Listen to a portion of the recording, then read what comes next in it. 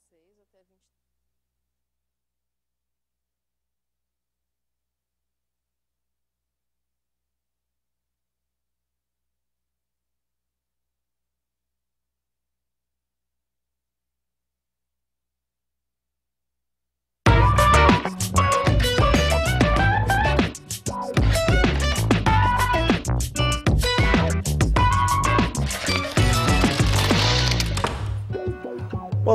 Salve, salve, Estação Cultura pós-feriadão está de volta, tudo bem? Como foram de carnaval? Estamos de volta pelo sinal digital da TVE e simultaneamente pelo nosso site www.tve.com.br. No programa de hoje vamos falar sobre cinema com a jornalista e crítica Jaqueline Chala. Também vamos saber como está se preparando a Sociedade Cultural Beneficente Acadêmicos de Gravataí para o desfile das escolas de samba de Porto Alegre que acontece na próxima semana. E a música de hoje fica por conta do compositor, intérprete, professor de percussão e diretor musical do grupo Afro Sul do Modê de música e dança, o Paulo Romeu Deodoro. Bom, iniciamos com o comentário da jornalista, crítica de cinema, nossa colega da FM Cultura 107.7, Jaqueline Chala, qual a sugestão, qual o filme que, é que tu traz para essa semana, Jaque? Tudo bem, Jaque? Tudo bom. É, Antologia da Cidade Fantasma é um filme que está entrando em cartaz hoje, do Denis Coté. Aliás, ele, o ano passado, nessa época, ele estava disputando o Festival de Berlim. Uh, é um filme que foi todo, curiosamente, né, foi todo filmado em 16 milímetros, em película, quer dizer, fugindo toda uma tendência generalizada do digital, e isso já por si já dá um tom diferente ao filme. Uh, ele se passa numa cidadezinha uh, no Canadá chamada Irené-Lenege, é uma cidade que está é no interior do Canadá, normalmente um clima bastante frio, sempre envolta em neve, né? René Lenege, né? As neves. Uh, e a história começa com um acontecimento brutal. Um carro está andando na estrada e subitamente bate num paredão e há um acidente. Nesse acidente morre um jovem dessa comunidade, dessa cidadezinha pequena, de no máximo 250 pessoas. E essa morte uh, provoca vários acontecimentos. O principal deles é a pergunta de todos os moradores se aquele rapaz dessa comunidade tão pequena uh, realmente sofreu um acidente ou se matou. Né? E a partir daí, a partir desse acontecimento, várias outras coisas começam a acontecer, como a aparição de figuras estranhas na cidade, uh, aparições realmente, que depois são identificadas como antigos moradores da cidade já mortos. Né? Então, o que, que o Denis Coté aponta nesse filme? Aponta uh, para as questões do outro, né? do medo do outro. Até porque essa cidade tão fechada em si mesmo, né? e isso um pouco lembra também até o Bacurau, do Kleber Mendonça Filho, ela não quer a ajuda de estranhos, né? Então, quando, quando o governo manda para lá uma psicólogo e um administrador para tentar contornar a situação dessas pessoas estranhas que estão aparecendo lá, eles rejeitam a ajuda externa. Curiosamente, a psicóloga é uma muçulmana. Né? Então aí já entra a questão da alteridade e da diversidade. O filme é todo, todo ele bastante simbólico uh, e ao mesmo tempo evoca então essa coisa dessas cidades pequenas, sufocadas pelo progresso e onde a gente realmente não sabe se um jovem ao morrer cometeu o suicídio ou se matou porque o futuro naquela cidade provavelmente não existia.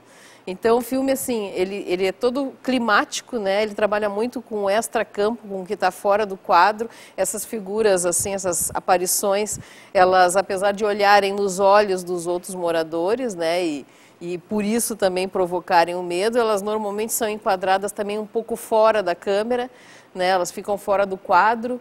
Uh, o Denis Coté é muito inteligente ao trabalhar nisso, né? porque ele lida com essa questão do, do medo muito através das sensações que ele evoca. E são sensações bem angustiantes, essa sensação desse lugar perdido na neve, um pouco isolado dos outros e ao mesmo tempo sem perspectiva de um futuro. Então a minha dica é essa, Antologia da Cidade Fantasma, um filme bem interessante, uma produção canadense do Denis Coté, que concorreu ao Festival de Berlim no ano passado. Entrando em cartaz aí nessa quinta-feira, que é dia que a gente tem estresse. Já está em cartaz, já entrou na outra semana, né? Não, ele entrou, entrou agora. Entrou agora tá em cartaz. agora em cartaz. Bom, e final de semana a gente tem mais cinema aí, na forma musical da FM Cultura 107.7, também em alguns comentários. No, na trilha na tela, qual é o tema dessa semana, Jaque? Pois é, justamente um filme que eu não comentei aqui, né? Eu estava devendo, é o Jojo Rabbit, né, do Taika Waititi, que é o filme que ganhou o Oscar desse ano de melhor direção. Uh, tem música do Michael Giacchino, então a gente vai rodar as músicas originais do Michael Giacchino.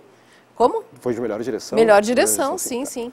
E, e, ele ganhou o Oscar, uh, esse Oscar de melhor direção e a música do Michael Giacchino, que fez os temas originais, mas também no filme uma das coisas que chama atenção é o fato dele trazer várias versões de músicas do pop, como Heroes, do David Bowie, em alemão, e I Wanna Hold Your Hand, também dos Beatles, em alemão. Quer dizer, ele faz uma associação ali entre essa, o, essa, o frenesi dos movimentos de massa da cultura pop com o frenesi provocado pelo nazismo, que é o, o foco do filme, né? Filme que vale muito a pena ser visto também, né? Sim, baita Além filme do Taika Waititi. Vale a pena mesmo. Lembrando então, na trilha na tela, sábado, a partir das 18 horas, na FM Cultura 107.7. E aí, na semana que vem, quinta-feira, de novo, Jaqueline Chala está ao vivo aqui conosco no Estação Cultura para mais uma dica e mais um comentário de cinema. Certo, Jaque? Bom final de semana. Igualmente. Bom, foi na companhia do pai que o Paulo Romeu entrou em contato com a música e com a composição e foi a paixão por essa arte que levou o Paulo a aprender vários instrumentos, a se envolver com o carnaval, onde foi mestre de bateria. E na década de 70 fundou o grupo Afro Sul, que mistura música e dança com a temática da negritude. A gente ouve o Paulo Romeu agora fazendo música aqui no Estação Cultura. Daqui a pouquinho a gente conversa com ele sobre várias atividades que estão na programação do Afro Sul do Modê e também um pouco sobre a carreira do Paulo Romeu. Então a gente ouve música agora. Por favor, Paulo.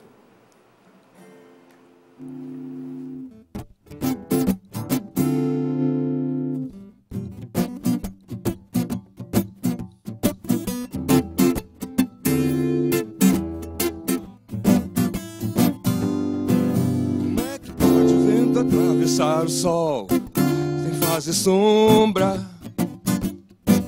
Como é que pode o barco atravessar o mar em cima das ondas?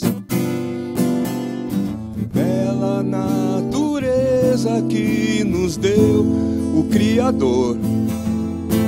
Os homens não estão dando mais valor Adão não respeitou, comeu maçã, perdeu juízo. E Deus lhe tirou o paraíso. E Deus lhe tirou o paraíso.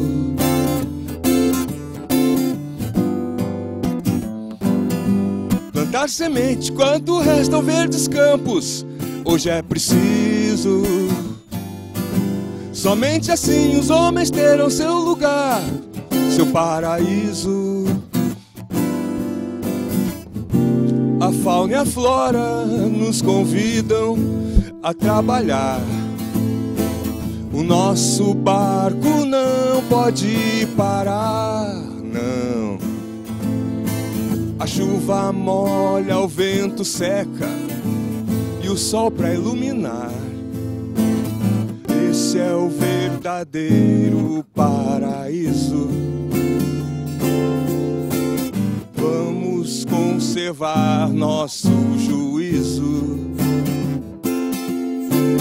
Esse é o verdadeiro paraíso.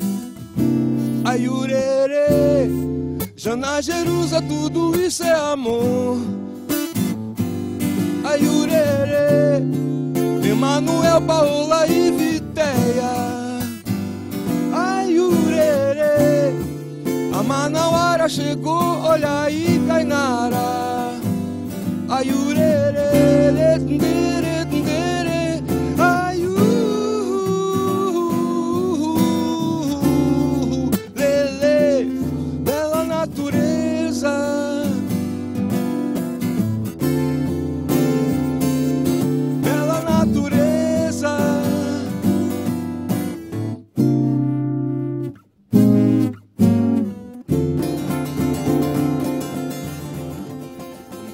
natureza.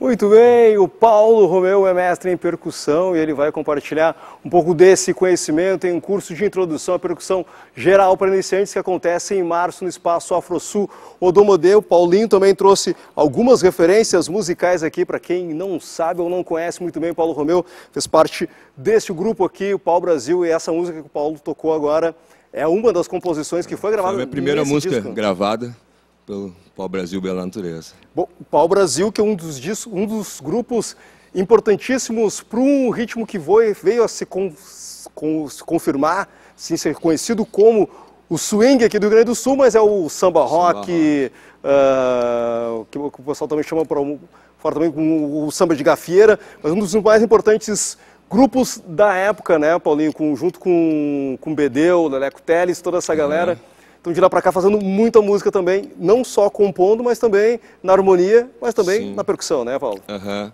É, eu fui para São Paulo em 77 e com o Afrosul. A gente foi com a, com a banda nossa no Afrosul, Marquinhos Farias, maestro, Cacate, Xangô, o Álvaro. O Álvaro mora, até hoje está lá em São Paulo, grande percussionista lá que toca com, com muita gente lá boa e conhecida. É, aí, isso em 78, início de 79, por aí, aí os meninos do AfroSul, alguns voltam para Porto Alegre. E aí eu fiquei, eu, Marquinhos Farias, ficamos lá em São Paulo, né, tocando assim, sozinho, a gente estava fazendo as nossas coisas individuais. Aí o Bedeu chama a gente que o Si e o Lequinho tinham vindo para Porto Alegre também nessa mesma época, e, e o Bedeu chega e convida a gente para tocar no Pau Brasil, né? Ficar no Pau Brasil e quando a gente estava preparando esse, eles estavam preparando esse segundo disco aí do Pau Brasil, né? Já tinham lançado o primeiro. E a gente começou a tocar no Pau Brasil, ficamos eu Marquinhos tocamos um tempo legal, preparamos esse disco aí.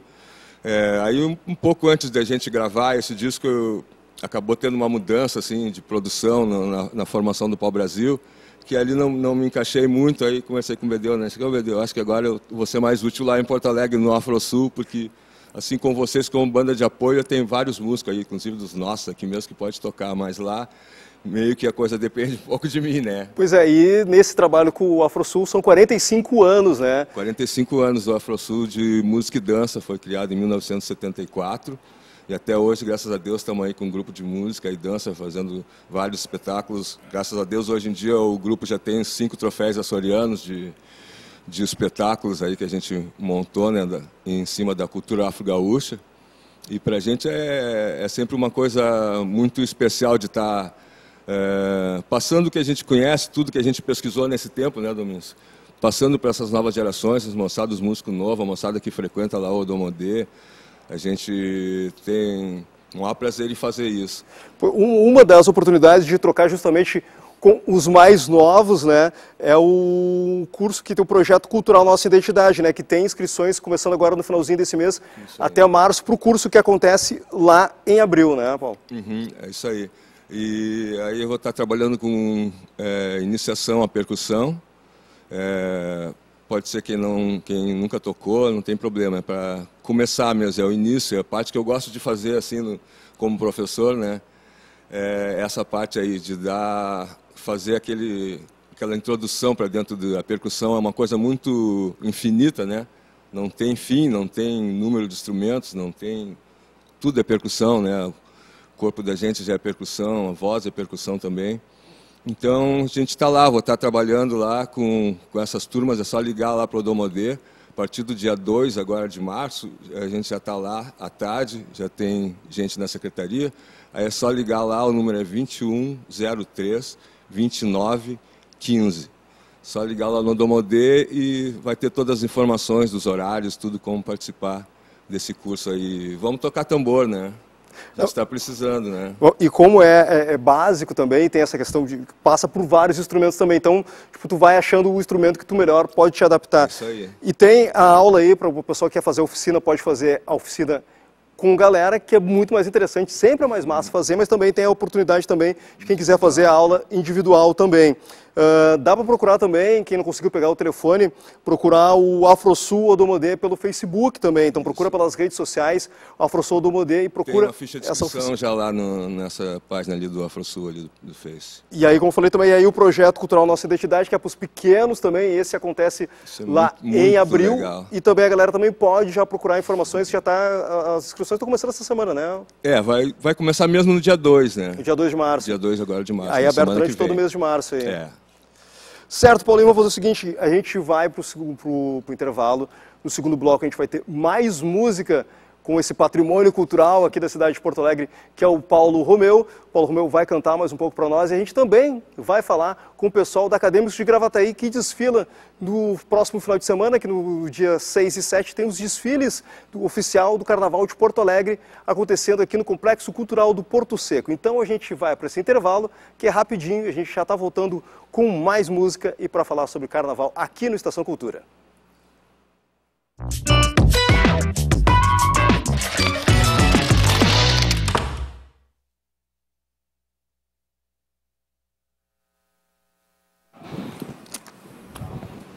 Na volta, intervalo, música direto. Tá, música direto. Pode passar. que já vai voltar direto com música, porém. Será que tu, tu não consegue?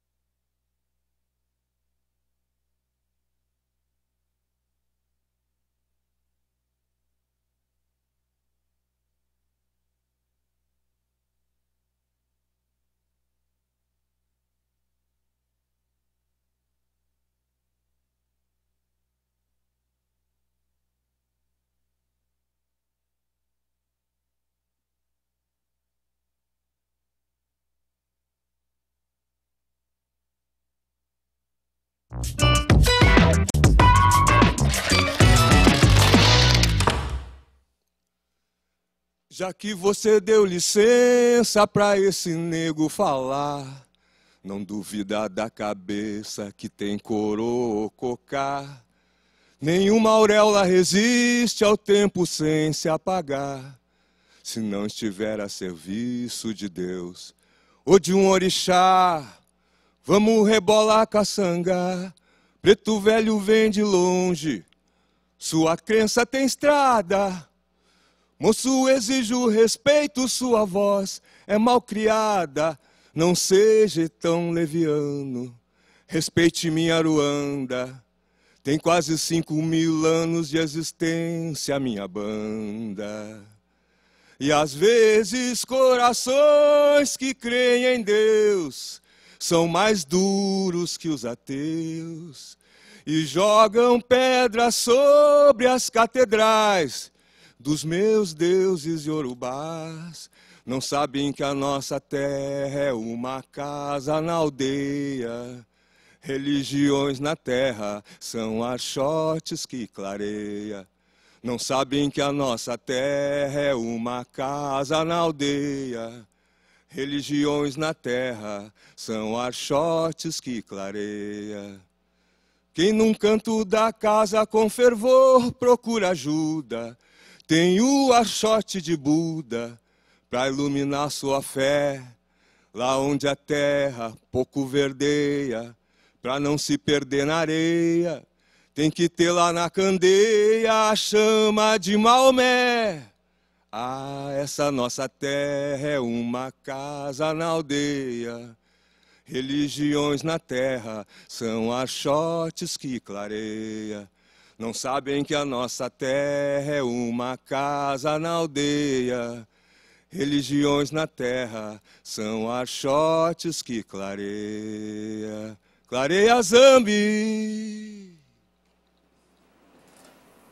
Grande Paulo Romeu, representando aqui o AfroSul Odomodê, que a gente falou sobre as, as oficinas, daqui a pouquinho eu dou mais um toquinho sobre elas, mas agora a gente vai falar sobre o Carnaval de Porto Alegre.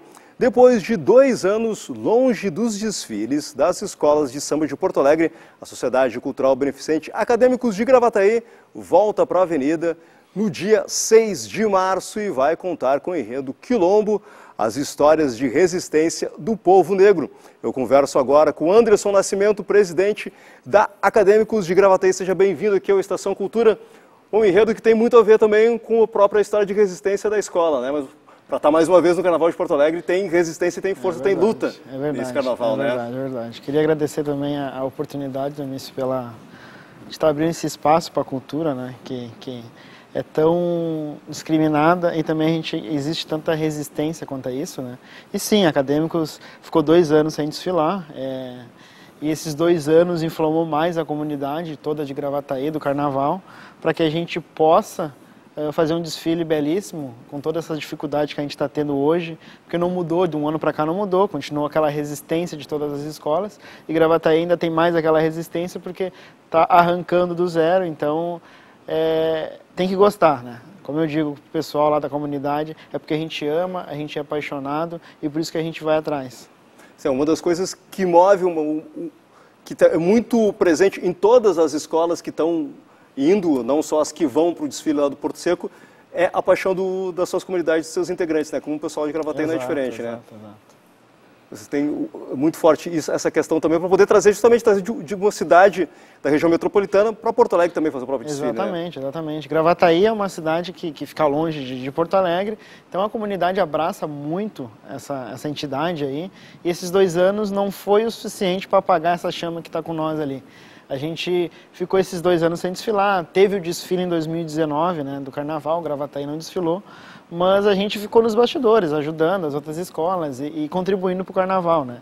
Porque hoje a gente compete dentro das, das, linhas amarelas, mas as escolas em si, uma ajuda a outra. Hoje, se tu for no barracão, em todas as escolas, todas só ajudam, porque hoje é o carnaval da resistência, né, Dama?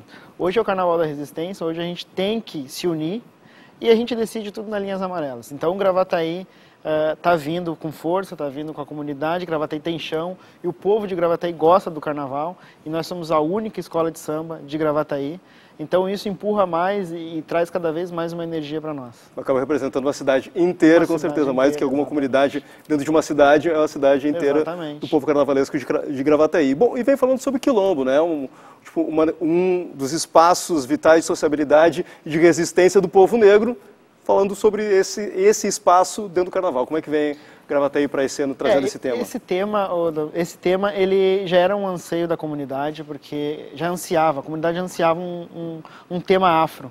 Porque Gravataí, é, desde que eu me entendo, que eu conheço, Gravataí não tinha ainda colocado um tema afro. Então, a escolha desse tema já começou com a comunidade. A gente expôs para a comunidade alguns temas, para a comunidade escolher e não a diretoria em si.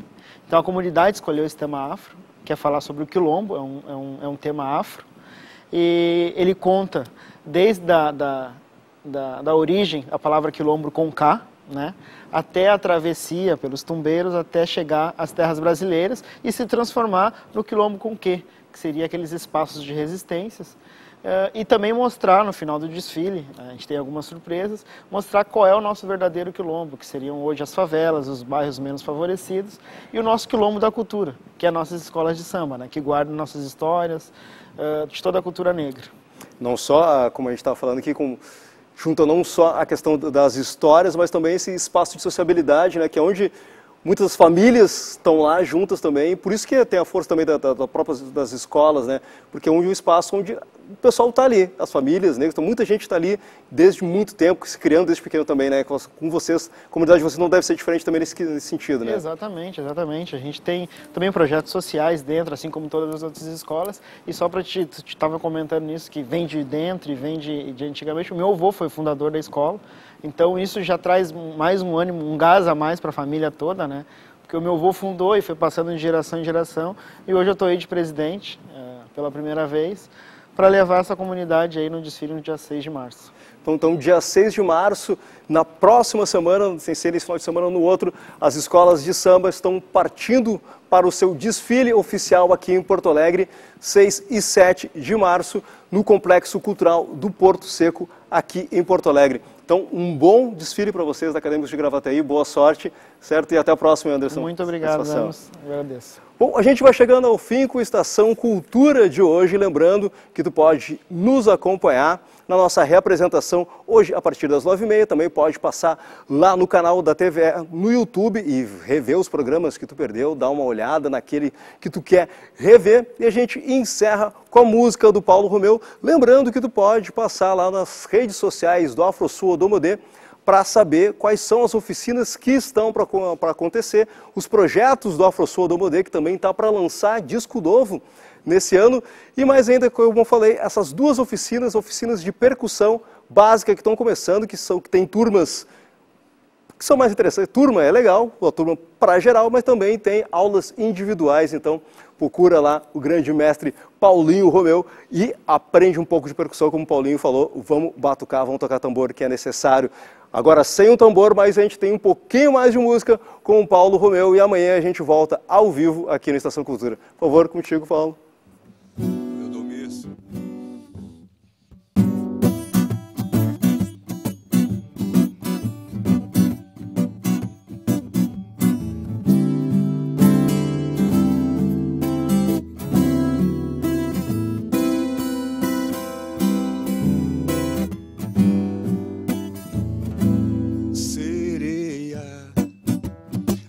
Brisa que vem do mar traz a essência pro teu perfume e o eterno balanço das ondas no teu caminhar. Sereia, sereia, a brisa que vem do mar traz a essência pro teu perfume e o eterno balanço das ondas no teu caminhar. Sentimento, sangue da gente.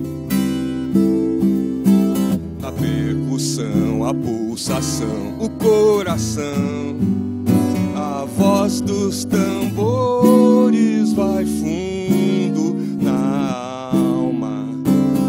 Sente o som do jambê, para pra escutar, toco pra você. A voz dos tambores vai som do jambê para pra escutar. Eu toco pra você.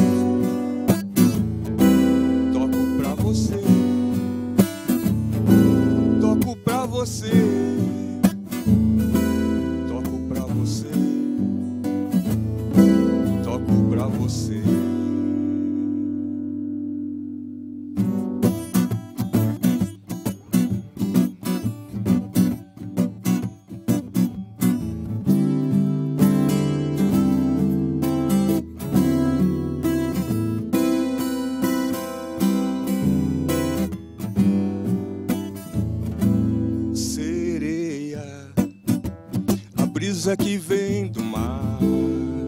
Traz a essência pro teu perfume